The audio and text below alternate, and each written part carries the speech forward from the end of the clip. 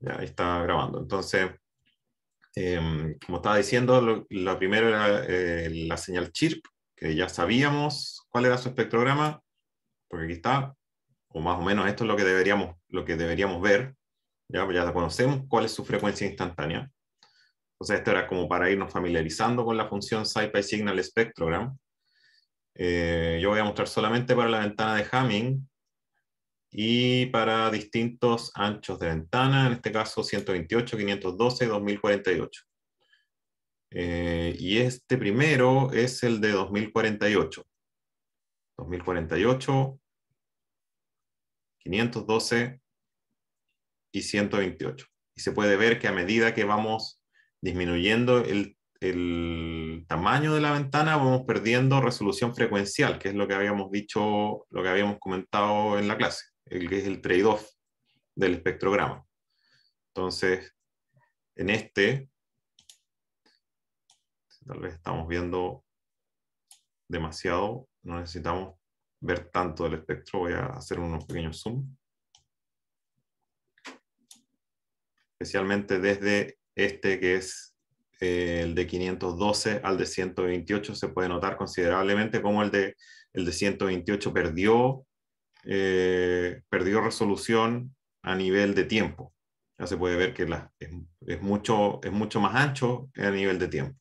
Y eso es lo que ocurre en general cuando vamos achicando cada vez más la ventana. Eh, por otro lado, este que es el más grandote,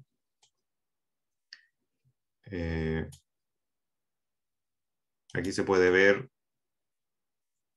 voy a acercar un poquito más, la línea se ve muy delgada porque la resolución en frecuencia es muy buena, pero cada cuadradito ahora es un poquito más ancho. ¿Ya? Estamos perdiendo más ancho en la horizontal, estamos perdiendo resolución ahora en el tiempo.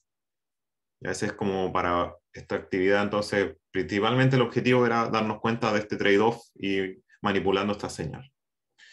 Y lo que había dicho antes era con respecto a esta función pcolorMesh, que es la que yo les recomendé para visualizar espectrogramas, que es una función que en general plotea una matriz en dos ejes coordenados que está en su primero y segundo argumento. Entonces, lo que devuelve SciPy Signal Spectrogram se puede graficar muy fácil con pcolorMesh. Eso era con respecto a la primera parte. Eh, todo lo que vimos de enventanado como que aplica aquí, entonces si uno, vieron, si vieron la ventana rectangular, la ventana de Hamming, eh, la ventana de Hamming tiende a hacer una unas transiciones un poco más suaves, mientras que las otras son un poquito mayor resolución, pero transiciones un poco más abruptas.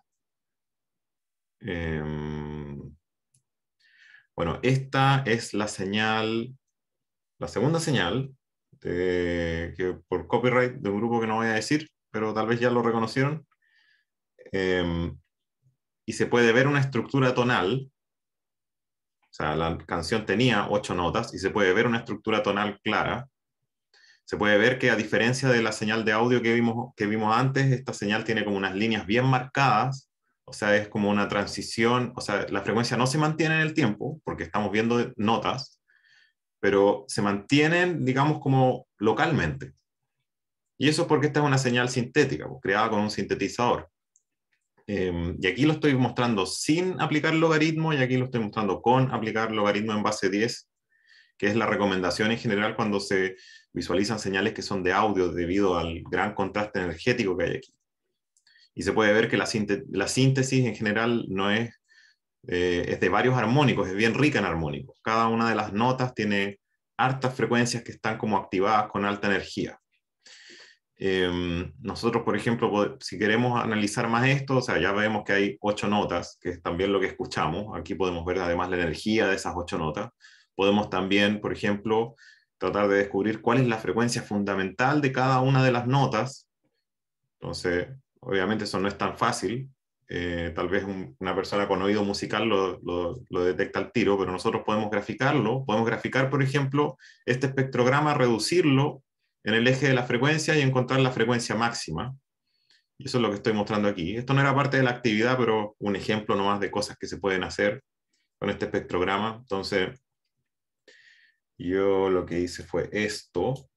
Encontré el argumento máximo del espectrograma en el eje de la frecuencia para todo tiempo y eso me da la frecuencia de mayor energía para cada ventana. Entonces se puede ver, bueno, por supuesto hay como unas las frecuencias como de transición entre nota y nota, pero se puede ver que hay una frecuencia, ya alrededor de 200 y tanto, después baja una nota más grave, después sube una nota más aguda, después baja de nuevo una nota grave, que es más o menos lo que, lo que se escucha en la canción.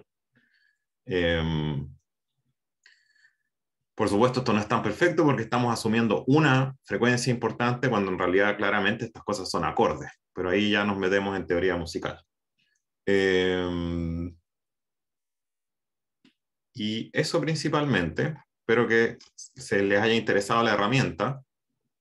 Em, el objetivo era entonces entender un poco sobre señales no estacionarias que son tan comunes y ver cómo analizarlas. Y de aquí en adelante lo que vamos a empezar a ver son sistemas para procesar señales estacionarias y no estacionarias. O sea, primero en la unidad 2, señales estacionarias que no cambian tanto, después la unidad 3, señales que están cambiando constantemente y que sería el caso no estacionario. Eso, yo subo después estas grabaciones